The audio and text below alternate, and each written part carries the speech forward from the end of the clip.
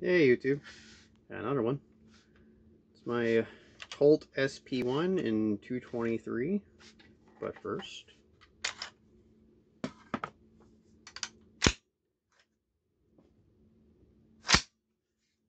leave it open for now. This is uh, the original AR-15. It even says AR-15 right there. Then Colt still owns the trademark to AR-15, which they got from Armalite. This particular one is a light production SP1. I think this was made in 82, I believe, 82 or 83 is when they switched over from making SP1s to making uh, the more A2 style as the uh, rounded handguards. I think the first one still had the A1 rear sights and still had the slab side lowers. but They had a the A2 handguards and they start having heavier profile A2 barrels. And then they just add on, like, quickly add on the A2 sights with the rear sight drum on it.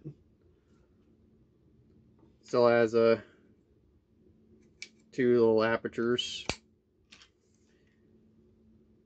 A1 length buttstock. A1 length pistol grip. Of course, the A1 handguards.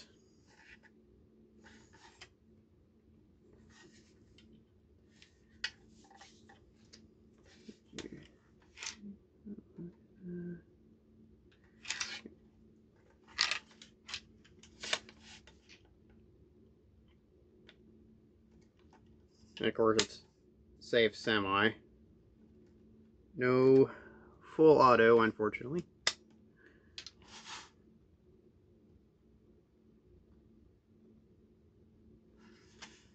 And of course there's a hole in the handle for mounting a scope, if you so wish.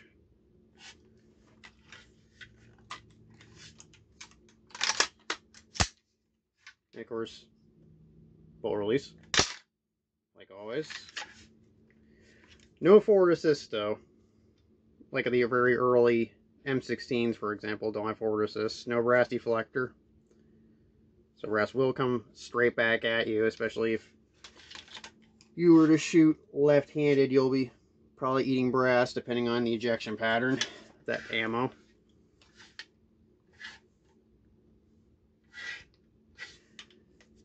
This also has the uh, see. Layer style trapdoor butt plate that was added in the A1 models, along with the bird cage flash suppressor. Unfortunately, it's the older, like the A1 or appropriate A1 flash suppressor where it's got cuts in the bottom. So if you're shooting low to the ground, I'll be pushing up dust and dirt, which is an improvement on the A2 flash suppressor.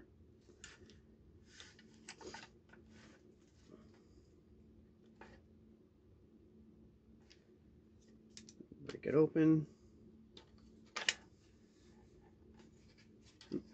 link on there. One complaint I do have about the SP1s is, let's see if it'll show up in the video.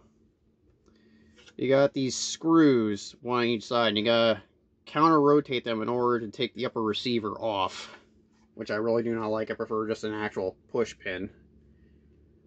I still don't fully understand the rationale and why Colt did that. From what I've been told, it was to reduce the risk of full auto components being used on the SP1s, which the only part that really worry about for full auto is the bolt and an auto sear, which this one it doesn't they doesn't have the block that Colt likes to put in preventing auto, auto sears in.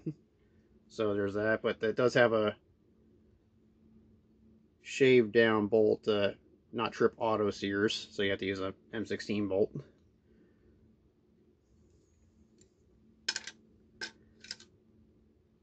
Other than that, it's basically standard AR-15 affair.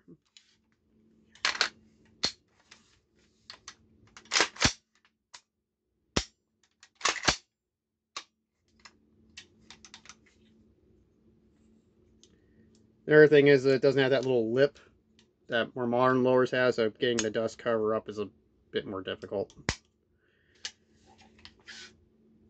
It might not be going through in the video, but it has more of like a gray color than uh, the more modern like black oxide finish that ARs have.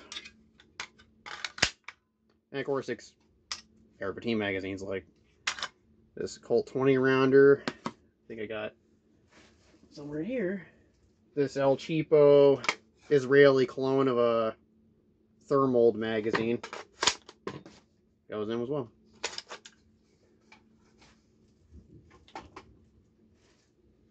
But I prefer to look at the old 20 rounder myself.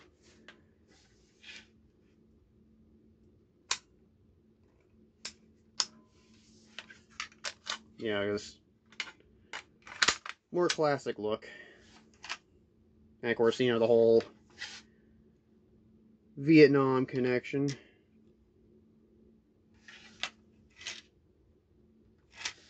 Guess you know what the rattling is? That's the cleaning kit inside the buttstock that this rifle came with. But it's a very lightweight rifle, like AR-15 should be. People seem to forget that the AR-15 was meant to be a, a lightweight weapon. And this one, I think, is seven pounds, maybe. It's very light. This is probably my lightest AR I've I have. Like even lighter than my A2, which is also pretty much a slick side lightweight rifle.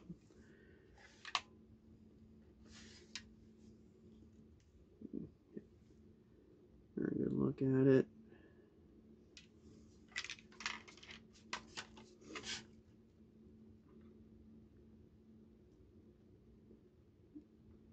I have been toying with the idea of selling this because evidently these things are going for crazy money right now. When I got this, it was maybe twelve or fourteen hundred dollars, maybe not even ten years ago. And I went to look on GunBroker just out of curiosity, and they were going for like three to four thousand dollars. I don't know if these guys are on drugs or the value on these things have just exploded. I don't know. I do like shooting it though. Anyway, I hope you have a nice day.